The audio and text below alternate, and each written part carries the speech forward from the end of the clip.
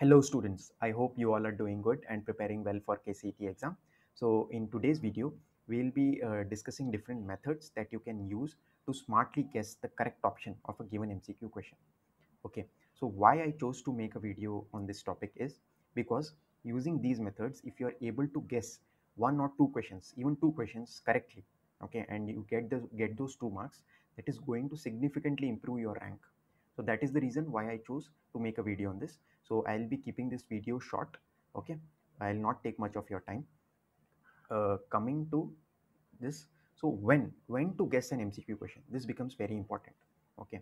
So you have to check. So you will be giving uh, many uh, papers right? Like you will be writing JEE mains bitsat kcet different exams are going to come. So when uh, so you have to check whether for that exam there is negative marking there or not so in case of KCET exam, that is Karnataka Common Entrance Test, there is no negative marking. Okay. When there is no negative marking, then you can do the guesswork. Okay. But where there is negative marking, as in the case of JEE mains and BITSAT exam, there is negative marking. In that case, if you are not able to solve the question, just leave it. Okay. Don't guess. Just leave it. That is the more most wiser option. Okay. To leave the question as it is. Okay. So coming to the different methods that you can use to guess and give an MCQ question. The most uh, widely used method is elimination of eliminating the options. So this is the widely used method. Okay, and this is the very useful method. So how you can apply this method? Say you have options A, B, C, and D. Okay, so if you are just uh, blindly guessing an option, okay, say you are blindly guessing, your probability of getting it right is 1 by 4. That is 25%.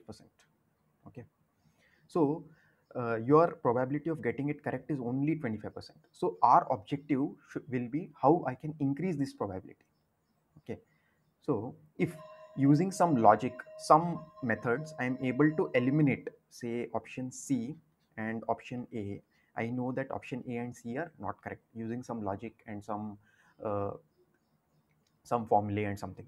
So I think only either B or either D is correct. So now your probability of getting it right is 2 by, uh, sorry, 1 by 2, that is 50%.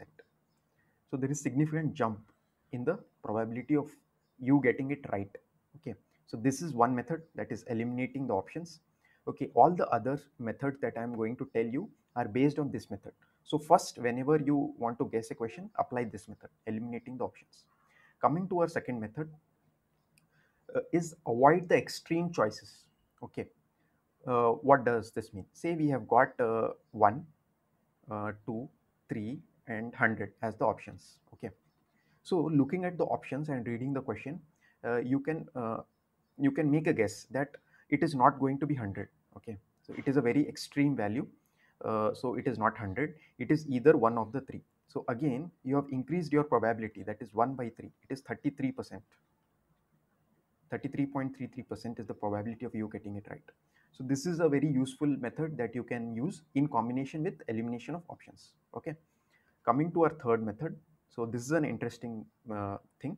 Say you are given all of the above. Say you have A, B, C and D. D is all of the above.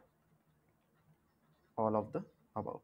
In that case, if by some logic you are able to uh, find out that option A and B both are correct. In that case, the correct option would be all of the above. You don't know about option C, but you know that option A and B are correct. So you can guess the correct answer that is all of the above.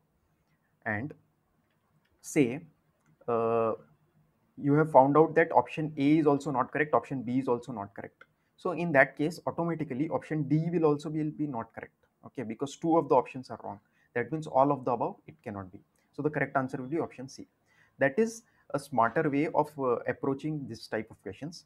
But if you want to go the guesswork method, from the past analysis, it has been found out found that 95 percentage of the times all of the above is the correct answer. Okay, so you can blindly take this option. That is all of the above. If you are not able to solve it, you, you don't know anything about it, you can just go for this option. Your chances of getting it correct are 95 percent. Okay, if and uh, status uh, like from the data it is found that there is only 5% chance that it is none of the above. So whenever there is none of the above, uh, you can avoid this option and you can pick the other option. okay. So your chances of getting the uh, answer correct will go higher. Okay. Coming to the last method that is the fourth method.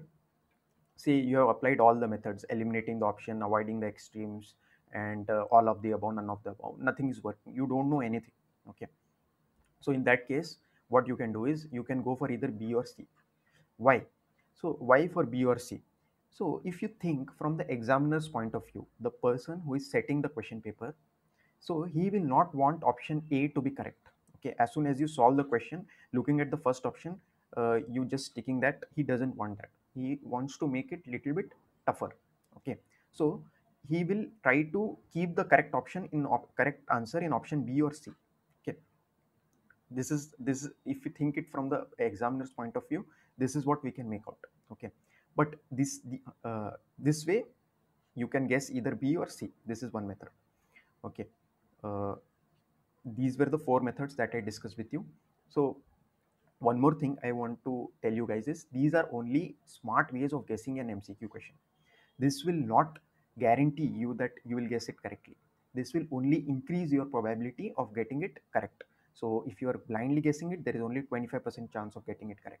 But you are smartly guessing the uh, options by eliminating and uh, doing some guesswork, smartly using the methods that I told you. Your chances of getting it correct go high. Okay. So that was all for uh, this video. So I hope this method uh, is going to be helpful to you in your examination. If this video was helpful to you, please uh, like the video and uh, you can share this among your friends as well so that it is going to help them as well and uh, you can subscribe to my channel so that you don't miss uh, these kind of videos where I share tips for KCET exam. Okay, thank you. All the best for your exam guys.